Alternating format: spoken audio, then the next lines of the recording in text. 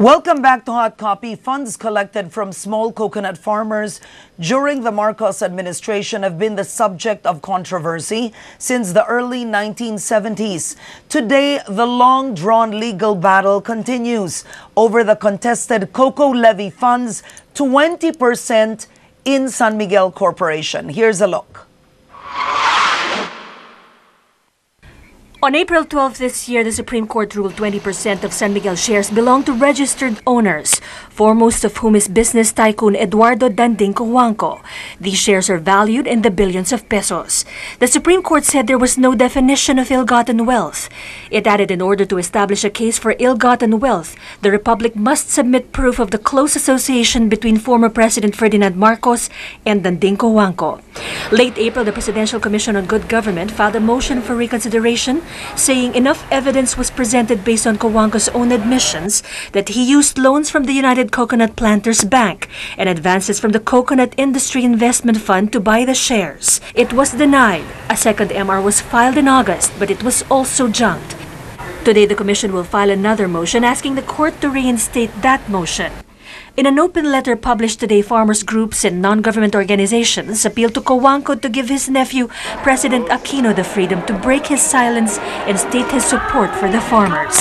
They insist Cojuangco was a Marcos crony, and the coco levy funds are considered ill-gotten wealth. 100 farmers who marched from Quezon to Manila last week will also submit 100 handwritten letters to the SC demanding justice in their case.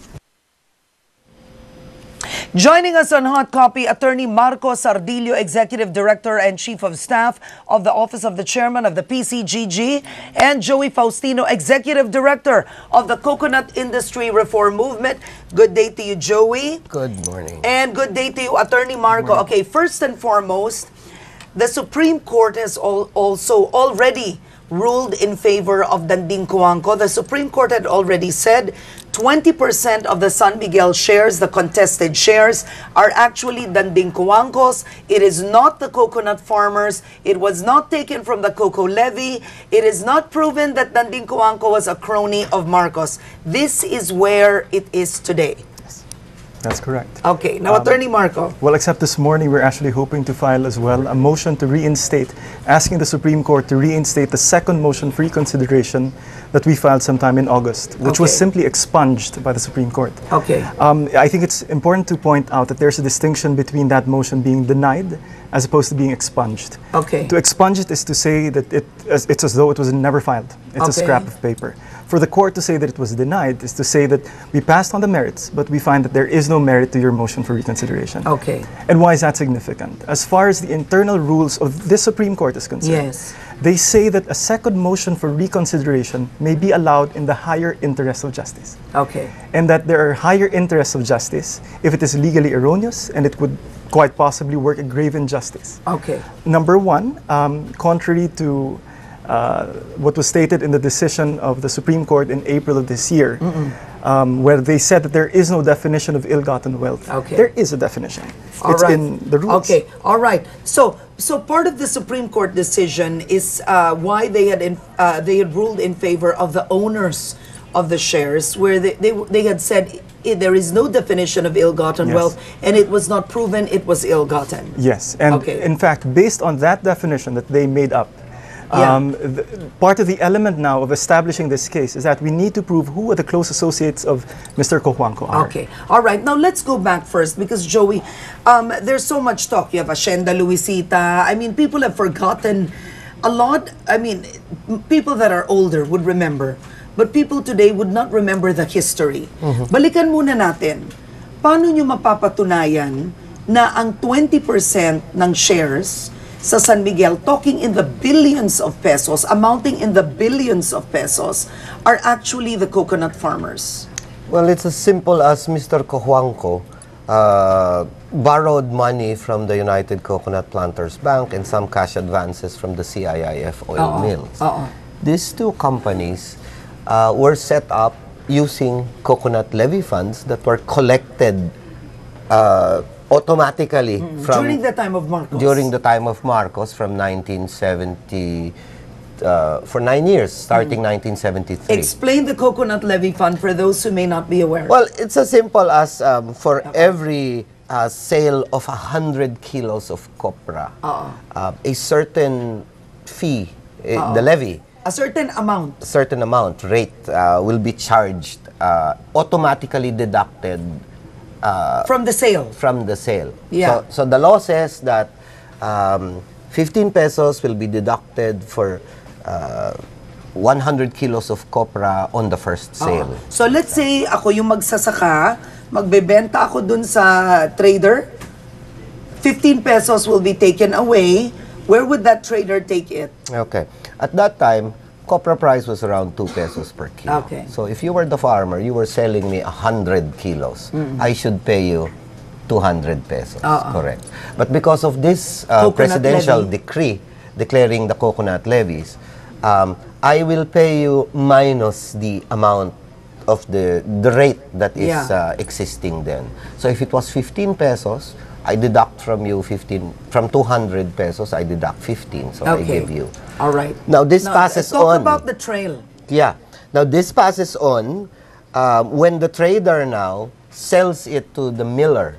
The miller is the end user. That's what they Mm-hmm. Call it.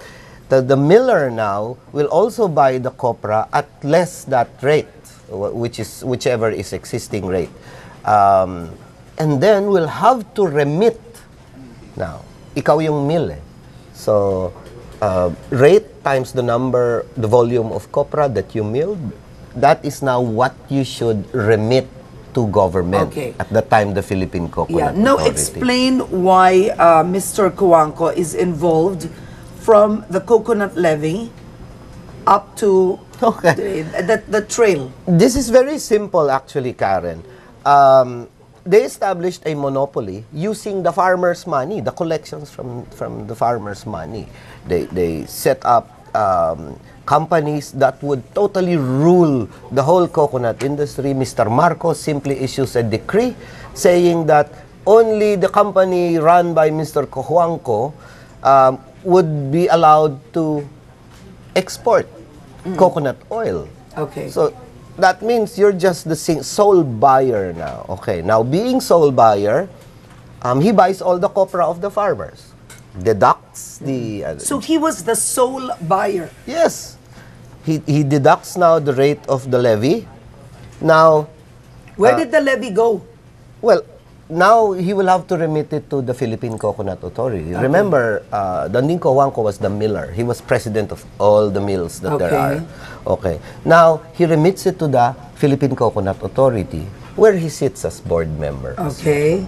Okay. Um, The Philippine Coconut Authority, well, where will they take it? they will now have to deposit it to the bank, so-called Bank of the Coconut Farmers, Which the is- United Coconut Planters Bank. UCPB today, which is known as UCPB. Yes. And at that time, Mr. Cojuangco was also president Yes. of the United Coconut Planters Bank. Now, as a bank, it now manages the whole amount of money that has been collected and invests it in, uh, it will invest it now in the companies. Right. Companies um, um, can be, you, you know, Coco Life. Uh, first, the coconut-related companies, an insurance called Coco Life. Um, well, it offers uh, life insurance for coconut farmers. As I said, all you have to do is die first, then collect. Okay, okay. Um, and then an oleochemical plant, then all the mills. And all of these companies, Danding was also president. Yes, but what makes you so sure? How do you prove that the money that was used to buy the San Miguel shares are from the Coco levy? That's exactly the point. Now, as president of all these companies and utilizing public money, Mr. Cojuangco now borrows from the United Coconut Planters Bank to buy a portion of the shares of the San Miguel Corporation. This has been this is um, documented. Yes. borrowing money from the UCPB. In Okay. fact, in fact, um, in one of the manifestations uh, in court, even the lawyer of Mr. Cojuangco, Titong Mendoza, has admitted actually that they indeed borrowed this from the United Coconut Planters Bank. But funny, funny, this Supreme Court, at least the block of seven in the Supreme Court, merely calls this a proposed evidence and tells people that it was not proven at all that Cojuangco was a crony of Mr. Marcos. So I say maybe he just hitched a ride to Hawaii when he uh, you know, rode the helicopter with the, the former President Marcos. All right, okay. Now, uh, uh, this is where you are now. So the Supreme Court had ruled that there is no proof that Danding Cojuangco is a crony of Marcos. How are you planning to question that? We actually found, we managed to unearth some diaries of Mr. Marcos. As you might know, uh, when the Marcoses left, in their haste, um, they actually left some of the writings of Mr. Marcos. Can I touch this? Sure, please. Okay. All right. Are these actual letters? These are the actual diaries of Mr. Marcos. The- These are handwritten, original documents. Yes, good handwriting. okay, so thi- this is part of what is called the Marcos diaries. That's correct. Okay. And our commission has possession of some of the original sheets. And in, in these sheets, you'll in fact see, um, let's say this one from June 10 of 1971. Mr. Marcos visited Tarlac on the birthday of Congressman Danding Cojuangco. Tumultuous reception, speech in Ilocano, at Paniki at the compound of the Cojuangcos. Okay. All right, but this doesn't prove he's a crony. This just proves that he went to the birthday party. A crony could very well be a longtime companion as well. It, it establishes a friendship that extends way back till, you know, since 1970s. Okay. Um, and that apparently Mr. Marcos found Mr. Cojuangco important enough to actually write about him in his diaries. All right. Or perhaps this sheet where uh, Mr. Cojuangco was uh, referenced as having stated or informed uh, Mr. Marcos uh, about the where, well the whereabouts of uh, Commander Dante and where Ninoy was probably hiding him. Are you serious? Commander Sumulong is going after Commander Dante in Tarlac. He says Dante is uh, wounded in a previous skirmish and may be moving around in a hammock. Danding suspects that Ninoy Aquino is hiding him in either Antipolo, Pumigay, or in the Joe Rojas Ranch in Bataan. Yeah, but it's so interesting. This letter also reveals that Danding and Ninoy were not really friends. Well, there you go. I mean, in this particular letter. Well, There was at least one entry where he referred to uh, the late senator in not so nice words.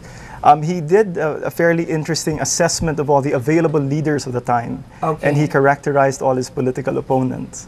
Okay. Uh, he named some of them as being too arrogant, some as being too old and too feeble.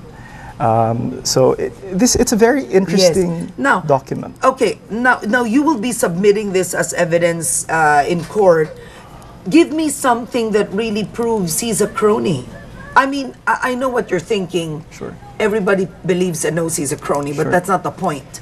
The Supreme Court has decided he is not a crony. Well, in, in some ways, it is the point. In fact, um, if you would ask me, how come this evidence was never available before or why it was never presented before, is because, quite frankly, it, was, it would have been an answer to a rhetorical question. Everyone knew that uh, Danding Cojuangco is a close associate or crony of Mr. Marcos. I knew that when I was four years old. Define a crony. A I crony- I mean, I have a definition of Sure. a crony, but I mean, for purposes of legality, define a crony. You want to do this technically? Crony uh-huh. and ill-gotten wealth is one. Okay. Sure. All right. That's it. When when you When you benefit, when you benefit or Right. if you're given privileges, especially by a dictator Okay. who issues a presidential decrees. That's a very practical favor. definition. Correct. Okay, all right. Strictly speaking, from the point of view of the executive orders creating the PCGG, a crony could very well, it's used interchangeably as close associate. Okay. In which case, uh, you have records, you have news reports. In fact, the common reputation of Mr. Cojuangco for the past 30 years is that he's a close Yeah. associate, among the closest of the closest. Yeah, but it's quite disturbing that the Supreme Court doesn't even have a definition for ill-gotten wealth in that decision. But, but According to this is precisely the reason, Karen, why one of the associate justices, uh, Conchita Carpio Morales, was saying this is indeed the biggest joke of the century. that was her decision. Yes. Do you have a A copy of that, dissenting the dissenting opinion. opinion? I might have it there Yeah, somewhere. yeah, Sure. yeah, really. Okay, go on. Uh, and, and that, uh, kumaga, for one justice to tell this to her peer, na, niloloko nyo lang ang mga tao dito eh. Oo, oo. This is i- ibang klase talaga Okay. tong block of seven na to. Oo. Now, uh, uh, talks, uh, uh, people have been saying, at least my sources, that ever since the Supreme Court had decided in favor of Danding Cojuangco, that he had already sold his shares in San Miguel. For I think, uh, I- if I remember correctly, he had already sold it to six people, including Ramon Ang, Butch Campos, Bobby Ongpin, a certain group of people already. So, what are you chasing? Well, depending on how sure he is that um, this decision would not be overturned, considering that the last time we checked, um, an entry of judgment has yet to be issued in this case. Then he, he does so, he enters into that transaction at the risk that it could very well be overturned. At least we hope so. It's the buyer's risk Right, now. absolutely. So you believe it has not been sold? I don't know. I, You I- don't this is the first I time will I'm not be of this. surprised if they sold it already. I think that was the whole issue. You know, there were two cases at this, uh, in the Supreme Court. Two cases of San Miguel blocks. One was the 27%, which is named to CIIF, and this 20% named to the dummy corporations of uh, Mr. Cojuangco. Um, an earlier decision by Sandiganbayan was already made on the other block, but still this is pending in the Now, Supreme now, Court. Joey, why are you still fighting for this, given it's been such a long battle, and it doesn't look too good for the farmers? Well, um, this is very political indeed. No, it changes from administration to administration. But we're really so sad that it took one Aquino administration to take this coconut levy fund away from Mr. Cojuangco um, for the people and the country. Yeah. Now I think it's taking another Aquino administration to give it back to Mr. Cojuangco. Yeah, you mean it during the mother's time? Yes, during the mother's Mother's time. time. That was the time they sequestered the companies Yes. and they filed the cases. Yeah, during Noy Noy's time. Uh, this is the time that they're giving it away now. You Yeah, got all interesting Cojuangco-related people now in the United Coconut Planters Bank and uh, and the other companies. Oo. Oo. So people from San Miguel and UCPB now are interchangeable, if you would see that. Oo. But are you still hopeful that the Supreme Court will consider this as good evidence and rule in your favor? To us, Karen, it's not a question of hope or not. We cannot let go of this battle, uh-uh. and we will fight it every way we can. Yeah. I met some of the farmers. It would be nice if you could describe to our viewers. Some of them were those, they're still alive, Yes. have the, those who have been paying the coconut levy, and until today have not tasted any benefit coming from that levy. None. All they have are these small pieces of paper called stock certificates. Yes. That they that these uh, people from UCPB gave away for free during the 1970s. So they felt wealthy then, paper Yes. wealthy, believing that they, they were shareholders. Shareholders, imagine a coconut farmer, his name is there, signed by Danding Cojuangco, of course. Um, I saw this. And, and uh, maybe what, four shares, 60 shares? Good if you have 100 shares. But what they did not know was that Mr. Cojuangco was holding on to some 54 million shares by just his name alone and some other companies' names as well. So uh, we take it that Mr. Cojuangco then was owned around um, more than 30% of the whole companies. Okay. All right. We'll be right back, Joey and Attorney Marco. We're trying to get in touch with Mark Cojuangco, the son of Danding, uh, to get his side on this. We'll take a quick break. When we return, we'll continue our conversation with our guests. Tweet your questions.